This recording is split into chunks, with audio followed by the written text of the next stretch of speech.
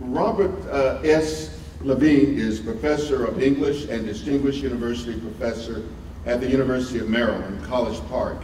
He received his PhD at Stanford University and has been teaching at the University of Maryland, College Park since 1983. He is the author of a long list of books. I'll just mention the ones involving Douglass. Uh, Martin Delany, Frederick Douglass, and the Politics of Representative Identity, The Lives of Frederick Douglass, um, and, and, uh, and Frederick Douglass and Herman Melville, Essays in Relation Hemispheric American Studies. Uh, he is the general editor of the Norton Anthology of American Literature. Uh, he has received fellowships from the NEH and the Guggenheim uh, Foundation. In 2014, the American Literature section of the Modern Language Association awarded him the Hubbell Medal for Lifetime Achievement in American Literary uh, Studies. Um, and find my notes on the actor Phil Darius Wallace is a native of Flint, Michigan, where he was introduced to the world of performing. Since that time, he has attended Interlochen Arts Academy, where he studied theater. He studied for the profession of acting at SUNY Purchase in New York. His professional experience includes the Michigan Shakespeare Festival, the Flint Youth Theater, the uh, Attic Theater, and uh, Hattiloo Theater. He has been a company member with Playhouse on the Square, Voices of the South, and is currently a company member with Play uh, Back Memphis and Tennessee Shakespeare. Uh, his film and TV credits include Nothing But the Truth and ABC's Nashville. Uh, I present to you first uh, Professor Levine, and he will bring out Frederick Douglass in dramatic fashion. Thanks. Um, yeah, he'll come out in dramatic fashion in about 25 minutes, so please bear with me. So I'm honored to be here on, on the occasion of the celebration of the 200th anniversary of Frederick Douglass's birth. There are celebrations around the world this year, including in Washington, D.C., New York, Indianapolis, Baltimore, Paris, and Edinburgh. But this is where it's happening on February 14th. So my thanks to Burnis Morris for organizing this event. I'm also delighted to be sharing the stage with the great actor Phil Darius Wallace, who I've shared a stage with before. So speaking of sharing the stage with an actor, um, as I say, my guess is you probably prefer to hear him, so I'm going to give a shortest talk. I'm sure there are people here who know a lot about Douglass, but for those who don't, there are important things I'd like to share about his life and career as I lead you to the moment when he gave his great speech, What to the Slave is the Fourth of July. Frederick Douglass was born into slavery uh, February 1818 on the eastern shore of Maryland, around 60 miles from where I currently live. For the first 20 years of his life, he was a slave, moving back and forth between the plantations of the eastern shore and the urban setting of Baltimore. Thomas Auld, who owned Douglass, had a brother, Hugh Auld, in Baltimore, uh, and he would kind of lend him out uh, to his brother. Douglass much preferred Baltimore, which is around 15 miles from where I live. Uh, it has a wonderful memorial to Douglass at Fells Point, where Douglass used to work on ships by the docks. Douglass escaped from slavery in 1838, taking a train from Baltimore while disguised as a sailor. In New York City, he met up with his fiancée, Anna Murray, a free black woman from Baltimore who had helped with the escape and whom he had met at a black reading society in Baltimore. They married in New York City and then made their way to New Bedford, Massachusetts.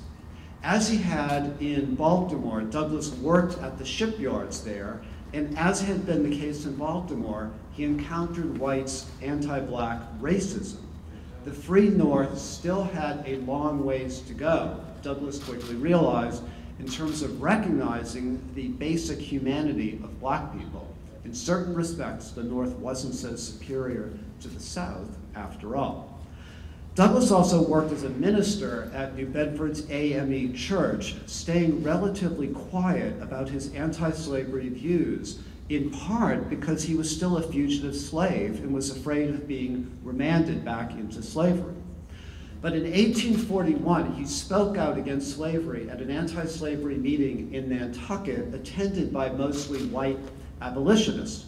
Douglass describes this key moment in his famous 1845 narrative of the life of Frederick Douglass. Quote, I felt strongly moved to speak. It was a severe cross, and I took it up reluctantly. The truth was, I felt myself a slave, and the idea of speaking to white people weighed me down. I spoke but for a few moments when I felt a degree of freedom and said what I desired with considerable ease. End quote. Douglass's act of speaking before a predominantly white audience was a turning point in his life, for it just so happened that the great white abolitionist William Lloyd Garrison was in attendance. Garrison signed Douglass up on the spot as an anti slavery speaker with a good salary. And Douglass, with the help of Garrison's Boston based anti slavery organization, moved with his wife and two children to a house in Lynn, Massachusetts, which Garrison rented out for him. Over the next several years, Douglass emerged as an electrifying anti slavery speaker for Garrison's Massachusetts Anti Slavery Society, regularly offering accounts of his experience as a slave while developing trenchant political critiques of the practice of slavery in the South and of racism in both North and South.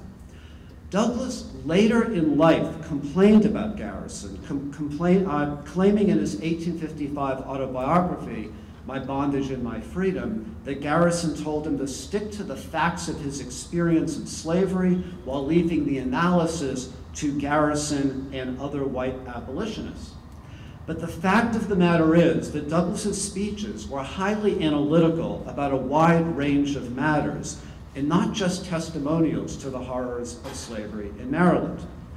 From 1841 to 1845, Douglass was a loyal member of Garrison's organization who now and then had to deal with skeptics, people who said that someone as eloquent as Douglass could never have been a slave.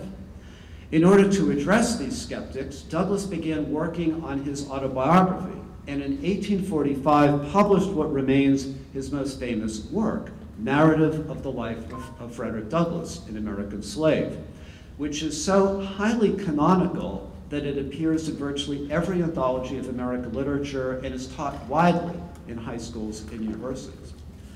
The narrative, which came with a preface by Garrison, was published by Garrison's Massachusetts Anti-Slavery Society, and it implicitly conveyed Douglass's support for one of Garrison's core beliefs, the importance of nonviolence to the anti-slavery struggle. Thus, in a key scene in, in, the narrative that many of you might remember, Douglass, when he rebels against the slave breaker Edward Covey, limits himself to self-defensive resistance. Instead of trying to kill the malicious Covey, who had been regularly flogging him, Douglass resorts to what turns out to be an extended wrestling match. As Douglass writes, quote, we were at it for nearly two hours. Covey at length let me go, puffing and blowing at a great rate, end quote. Douglass describes this moment of physical, but still essentially nonviolent resistance.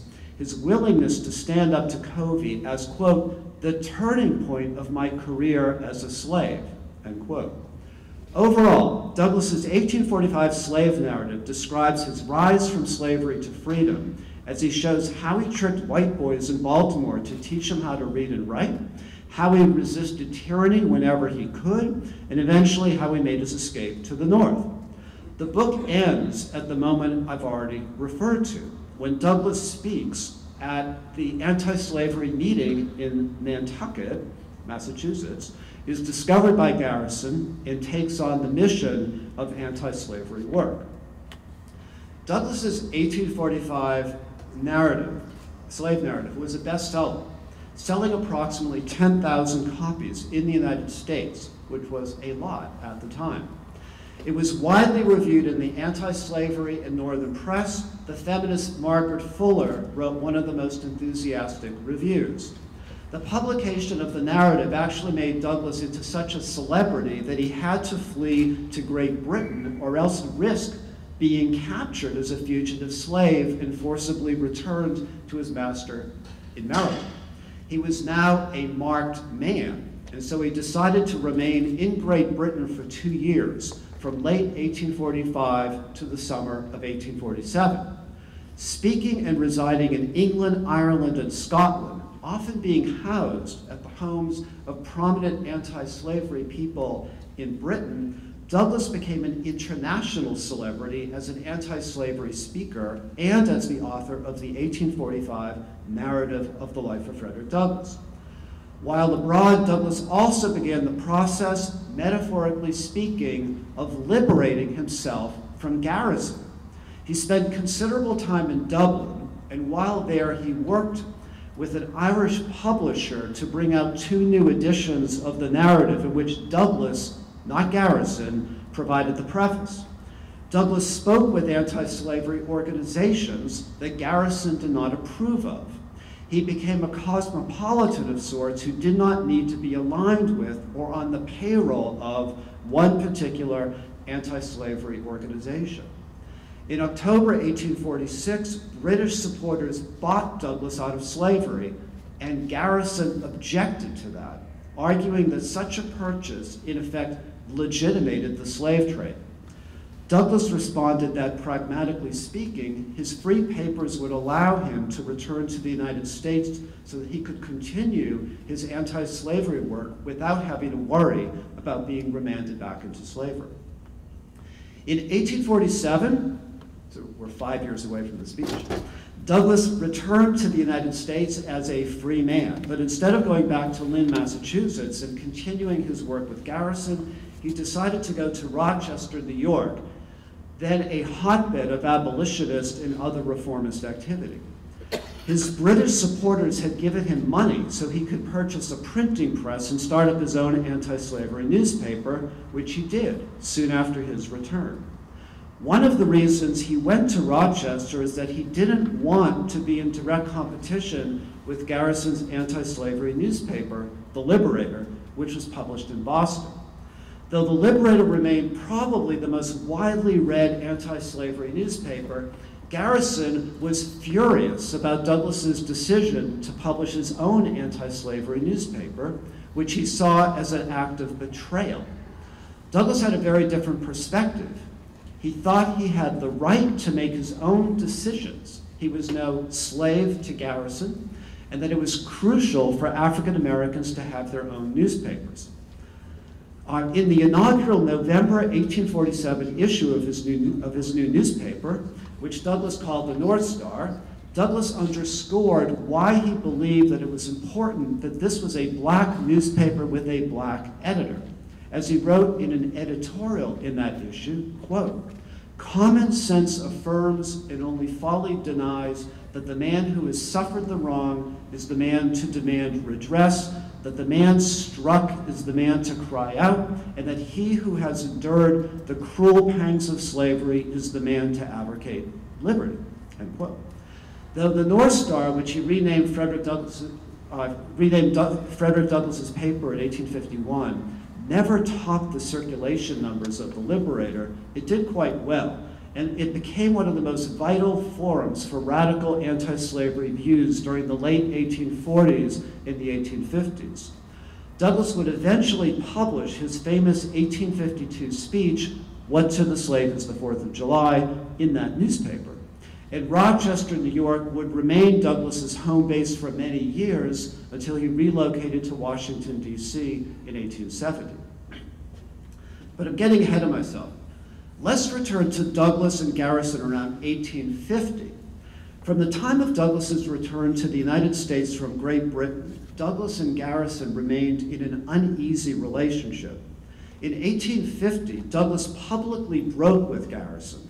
This is significant for the 1852 speech that is the focus of the program today.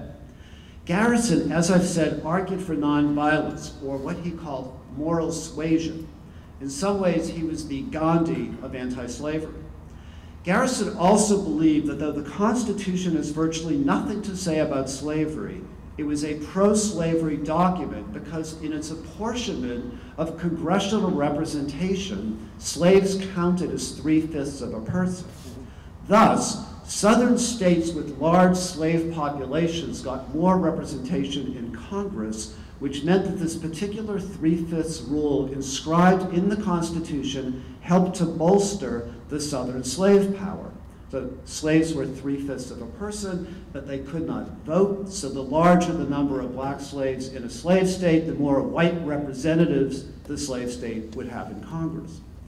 From Garrison's point of view, precisely because of this constitutional rule, the political system was so corrupt that whites shouldn't bother to participate in it. He thus urged abolitionists not to vote in federal elections.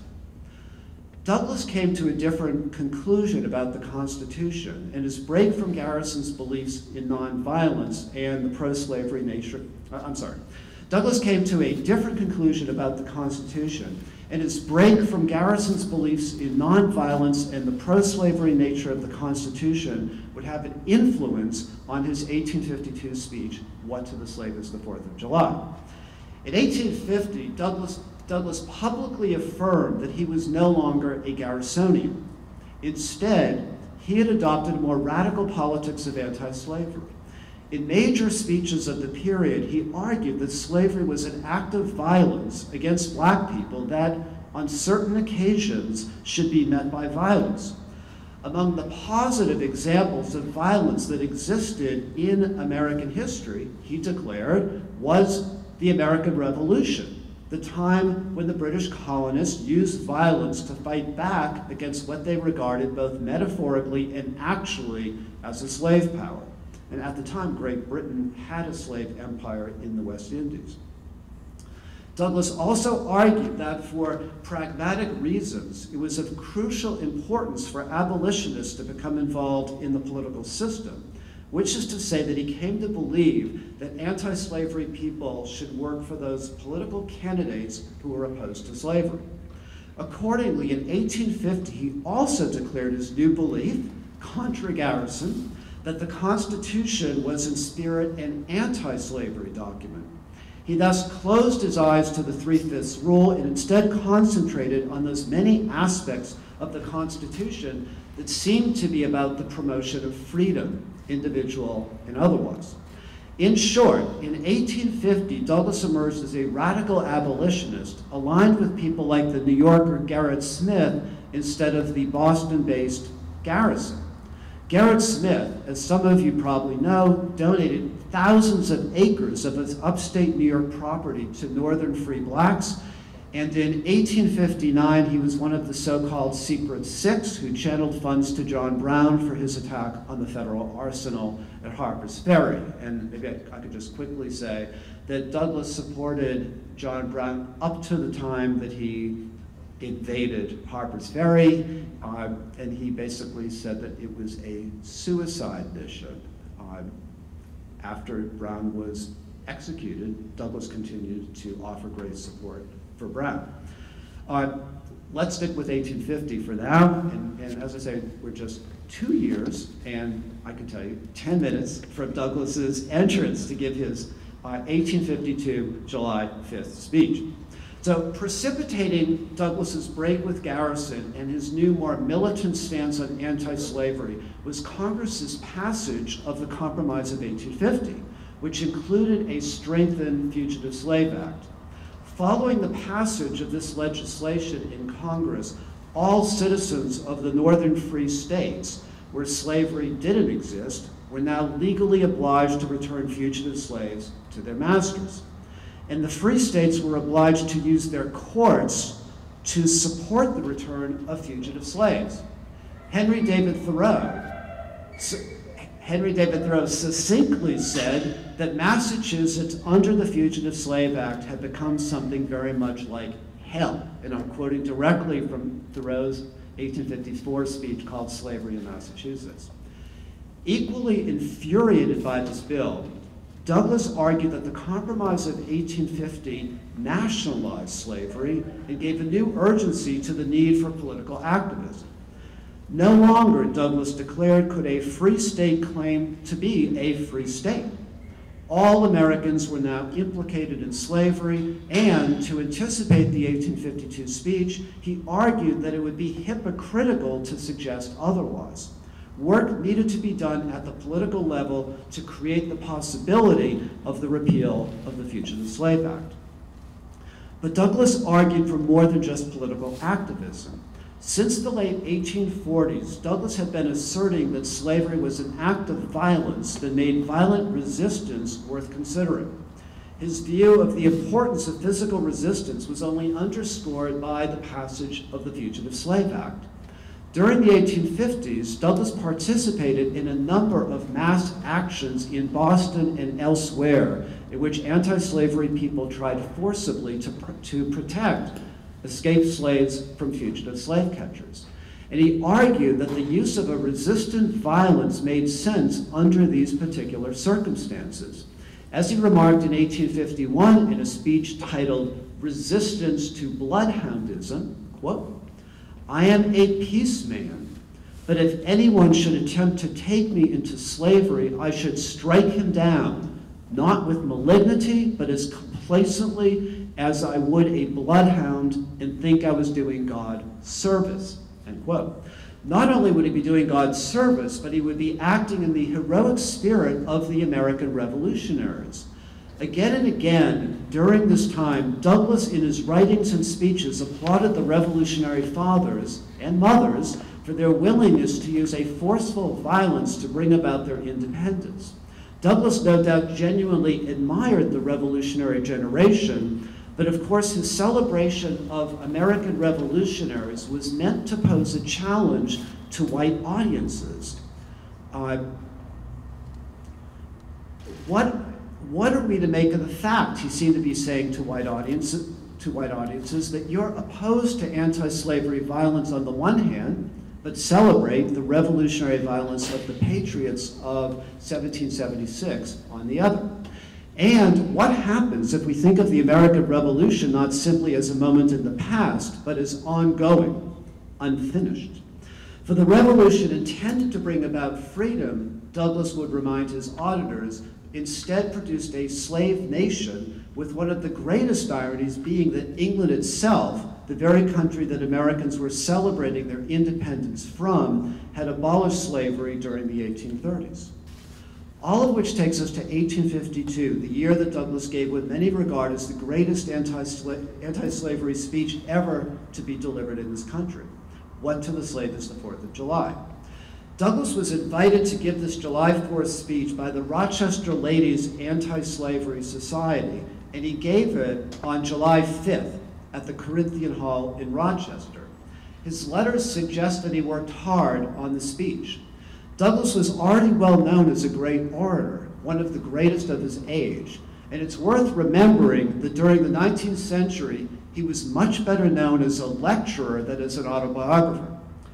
Precisely because of his fame as an orator, somewhere between 500 to 600 people, both white and black, paid 12 cents each to hear the speech. And oratory was public entertainment during the pre-Civil War years, and people were willing to pay good money, and 12 cents at the time was very good money to hear great speakers. Very importantly, Douglass insisted on giving the speech on July 5th and not July 4th. He felt that until all African Americans were free, he simply could not celebrate July 4th on the 4th. In this regard, he was following the tradition established by the New York black minister Nathaniel Paul, who gave the first 4th of July speech that I know of in the African American tradition on July 5th, 1826. That speech celebrated the end of slavery in New York State. But as long as slavery remained the law of the land, Paul could not give a celebratory speech on July 4th itself. We're about to hear excerpts from Douglass's July 5th speech, but I want to say just a few words about how Douglass, how Douglass shaped the speech and developed his arguments and critique.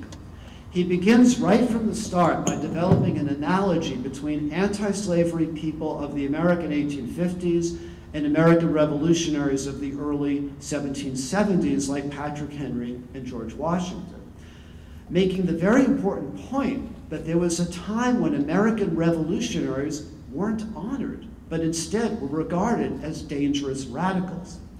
The great revolutionaries we celebrate on the 4th, he says, quote, were accounted in their day as plotters of mischief, agitators, and rebels, dangerous men, end quote.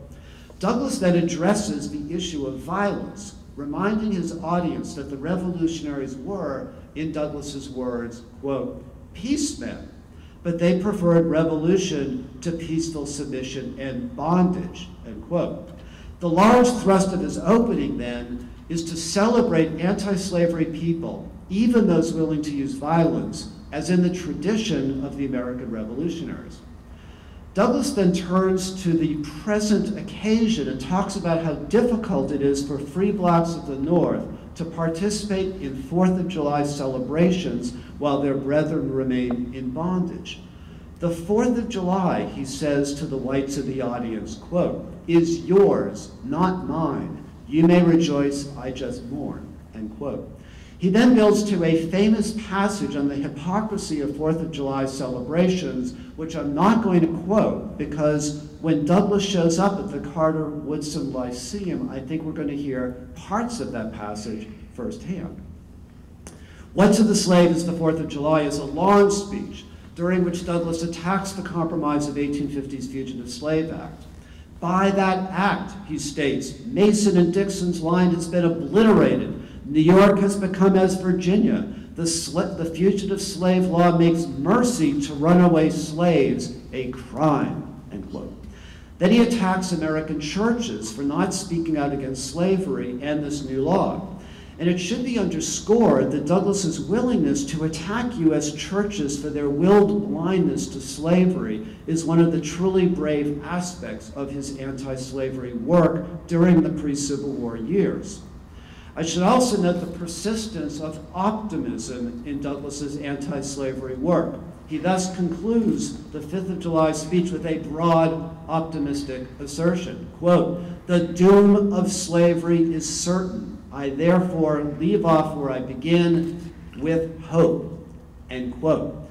And just as an aside, Douglass also said he, not, he never felt so hopeful about the end of slavery when the Supreme Court made its Dred Scott ruling. So this is an optimistic person despite his anger. According to newspapers of the time, the response to Douglass's 4th of July speech was overwhelmingly positive.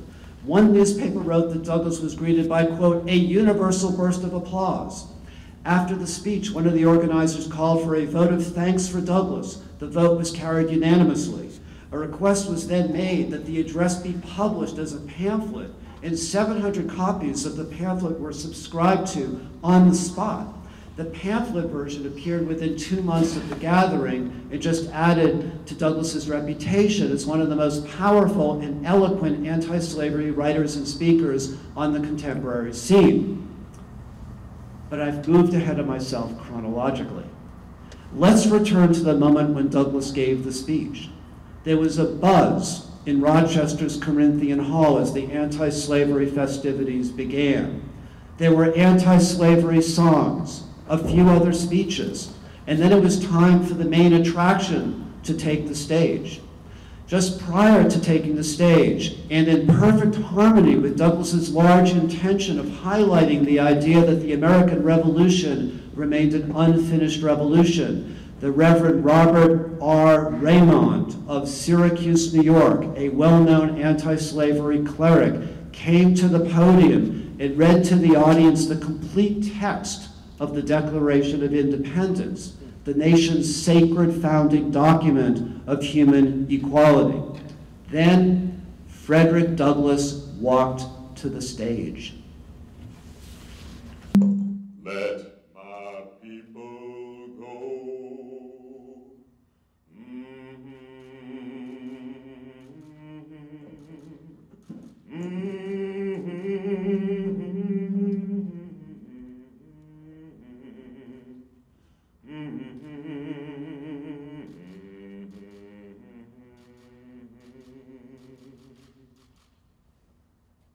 friends, and fellow citizens.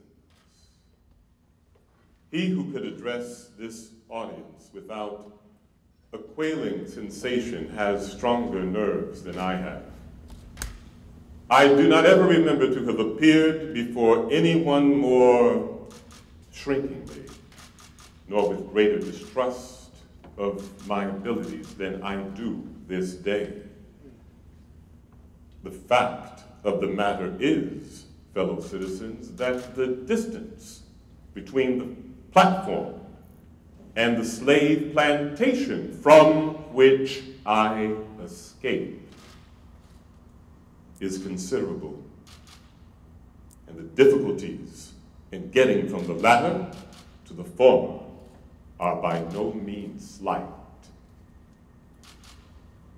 That I am here today, to me, is a matter of astonishment as well as of gratitude.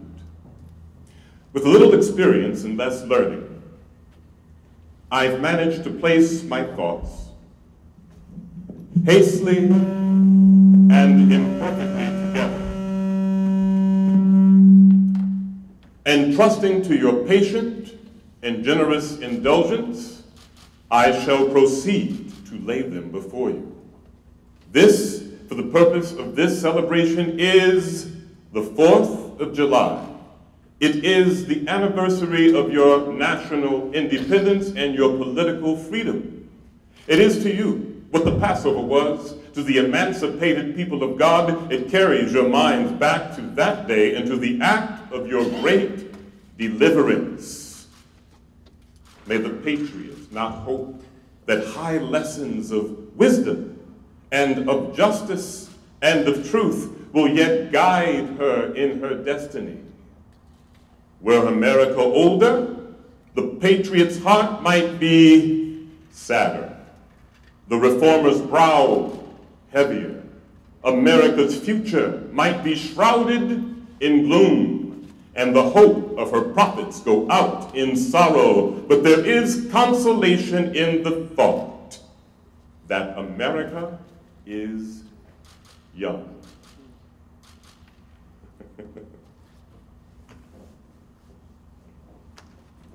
Fellow citizens, pardon me and allow me to ask why am I called upon here to speak to you today? What if I or anyone I represent to do with your national independence? Are the great principles of political freedom and natural justice embodied in that Declaration of Independence extended to us? Am I to confess the benefits and express devout gratitude resulting from your independence to us? Would to God, for both your sakes and ours, an affirmative answer would truthfully be returned to the question. Then would my labor be light and my work easy and delightful. For who would not lend his voice to the hallelujahs of a nation's jubilee when the chains of servitude had been torn from its limbs? But such is not the state of the case. I say with a sad sense of disparity between us, I am not included within the pale of your glorious anniversary. Your high independence only reveals the immeasurable distance between us. The rich inheritance of life, liberty, and the pursuit of happiness bequeathed by your forefathers is shared by you, not me. The sunlight that brought life and health to you brought stripes and death to me.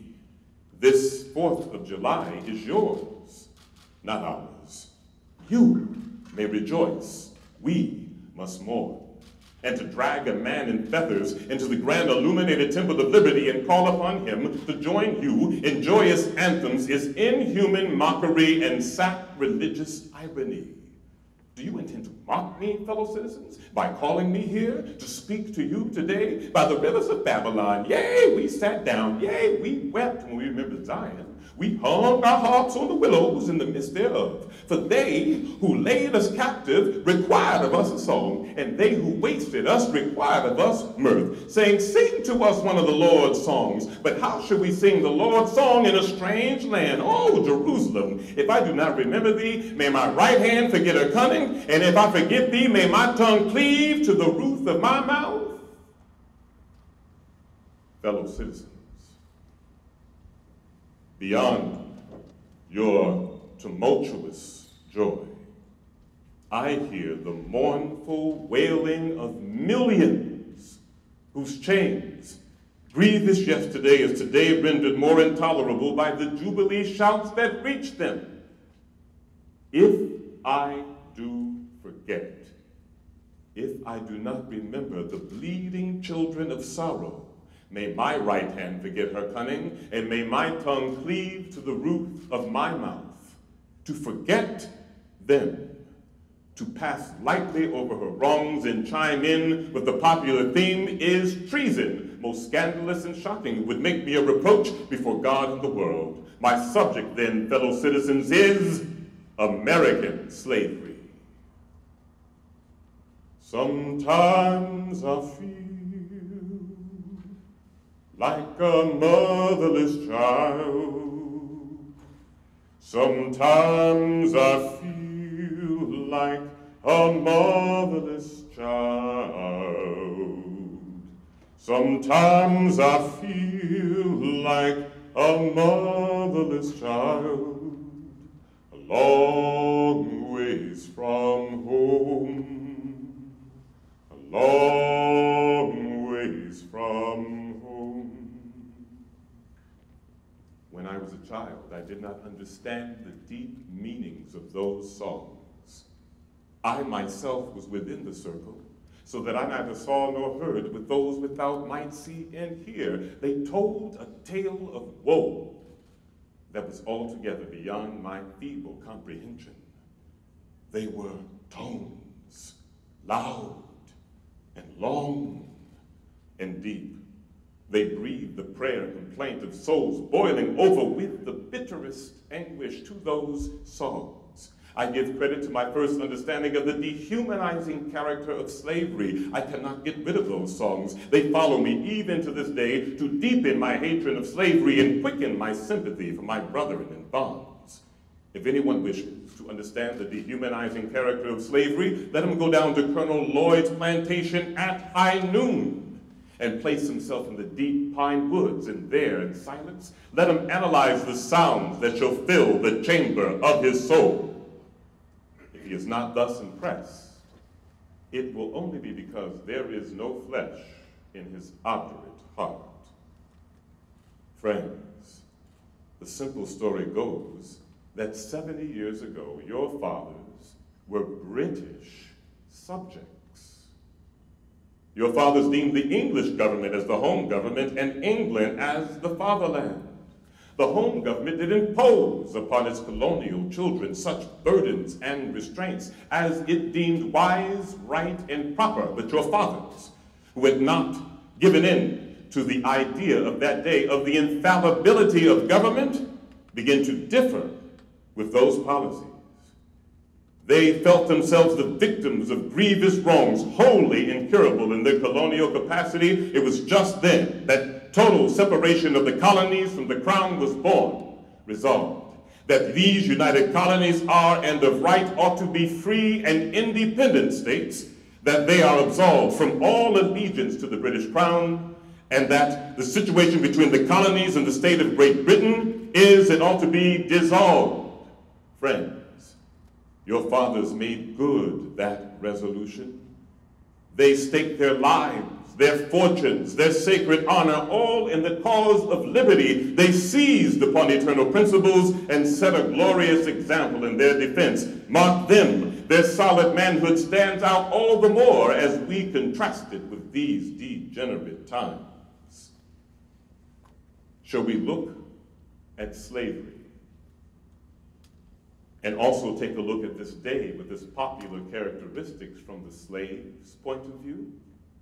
What to the American slave is the 4th of July?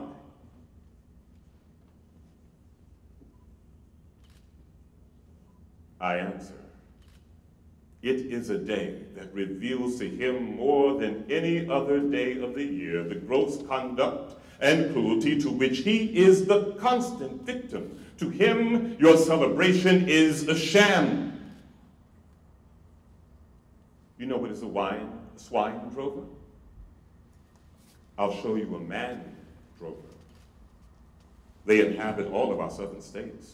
They perambulate the country and crowd the highways of the nation with droves of human stock, armed with pistol, whip, and bowie knife, driving a company of a hundred men, women, and children. These wretched souls are to be sold singly or in lots to suit purchasers. They are food for the cotton field and the deadly sugar mill. Mark the sad procession as it moves along and the savage wretch who drives them.